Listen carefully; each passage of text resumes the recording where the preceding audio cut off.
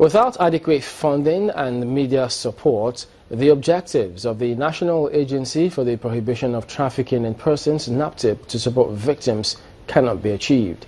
The Director General of the agency, Julie Okah-Donli, made this known during a courtesy visit to the Chairman of Channels Media Group, Mr. John Momoh, where she sought partnership in containing the activities of human traffickers.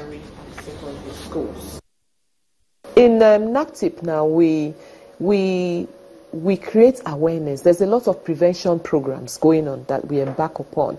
And this is um, awareness, awareness, and awareness. There's so much money in awareness creation.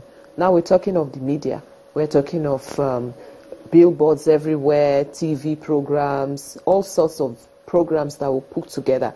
We have the shelters where we keep rescued victims. There's so much, yeah, there's so much to do there. So we, we're talking about food, clothing.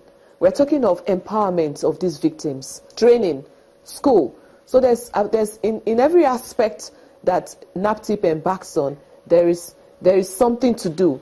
But my focus is on in the area of prevention. So I, I'm, I'm, I'm doing a lot of awareness and victim care victim care and support. So those two areas, yes, we need a lot of partners to come on board.